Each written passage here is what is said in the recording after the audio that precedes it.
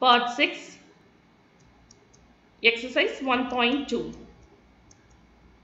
So the first one is an write down a pair of integers whose sum is 7. So that means uh, we have to write a two integer. Whenever I add the two integer, sum means addition. Whenever I add the two integer, the answer should be minus 7. For example, if I take the two integer as minus 3 and minus 4. Minus 3 plus minus 4. So plus into.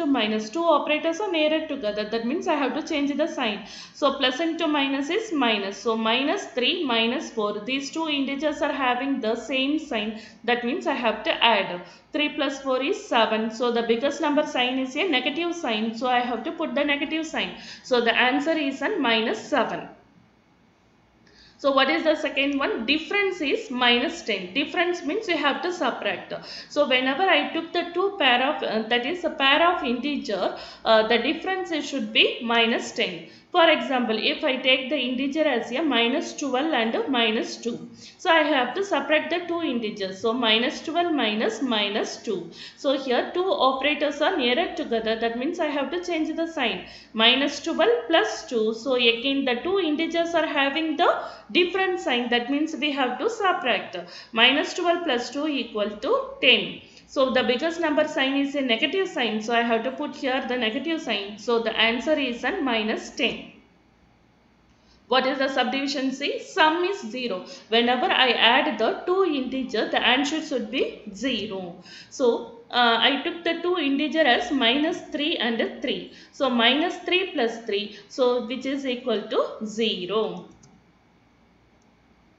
So the second question, write a pair of negative integer whose difference gives 8. I have to write two integer, the two integer should be a negative integer. Then I have to, uh, what is the another condition? Then I have to uh, subtract that two integer, the answer I, I should get is a 8. So I took the two integer as a minus 2 and minus 10. So minus 2 minus of minus 10 here two operators are nearer together that means I have to change the sign. So minus into minus it will become plus. So minus 2 plus 10 which is equal to here the two integers are having different signs so which is equal to 8. So the biggest number sign is a positive sign so the answer is a plus 8. So the subdivision B. Write a negative integer and a positive integer whose sum is minus 5. So, what is the problem given here? We have to write one negative integer and one positive integer.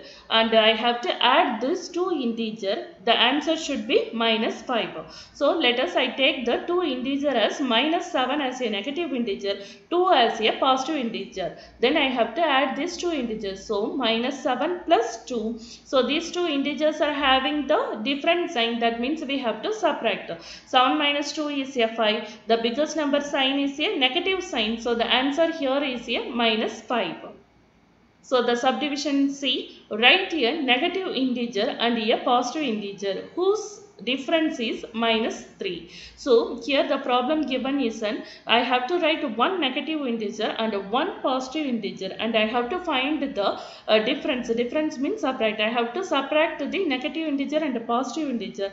The answer should be minus 3.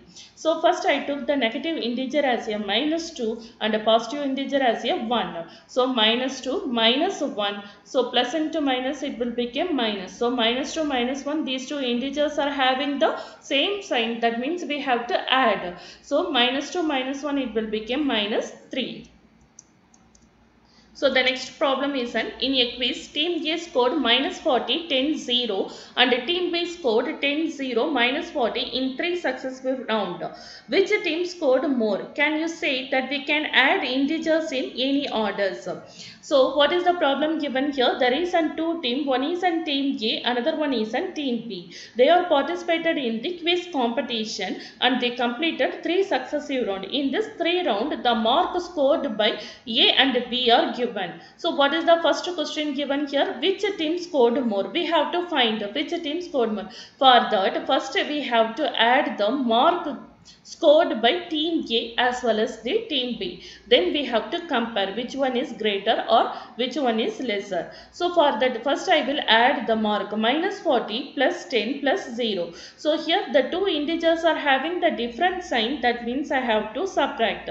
So 40 minus 10 is the 30. So the biggest number is a 40. The sign is a negative sign. So the answer here is a minus 30. So next total score of team B. So the and uh, scored um, the mark scored by team B will be 10, 0 and minus 40. So here also we are having two different integers. So 10 and minus 40. So we have to subtract. So 40 minus 10 is a 30. The biggest number sign is a negative sign. So we will get the answer as a minus 30. So the mark scored by team A is minus 30 and then team B is also minus 30. So the score for both team are same. What is the next question asked here? Can you say that we can add integers in any order? So, so here I uh, for team A, first I add the minus 40. But if I interchange the integer 10 as a first number, then minus 40 as a second number. So 10 minus 40, the answer should be minus 30. In score, um, in team B. So minus 40 is represented as the last number but here I took minus 40 as the first number and 10 as a second number. Then again I get the answer as a minus 30. So here the answer will not change. We can get the same answer. That means yes we can add the integers in any order. So the fourth question is then fill in the blanks to make the following statement is true. So here one statement is uh, given. We have to check whether the statement is true or false by filling the uh, blanks which are given.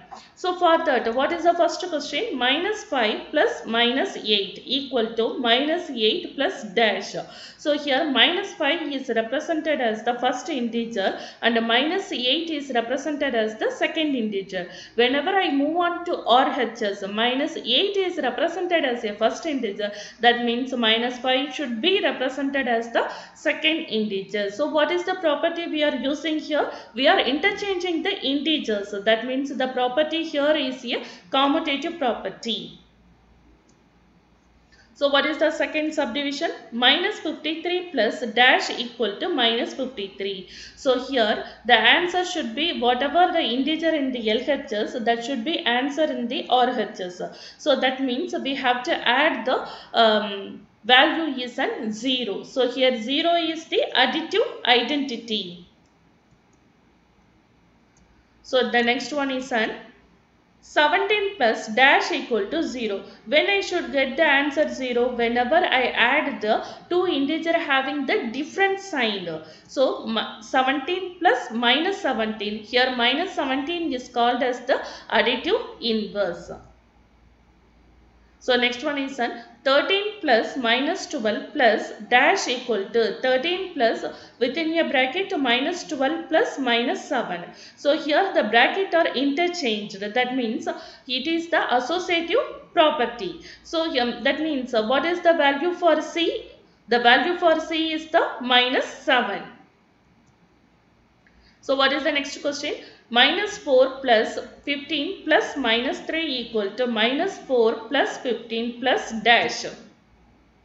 So again the bracket are interchanged here. Here the bracket given for 15 and 13 and in our RHS the bracket is given for minus 4 and 15. That means the C value should be minus 3. So the property used here is an associative property.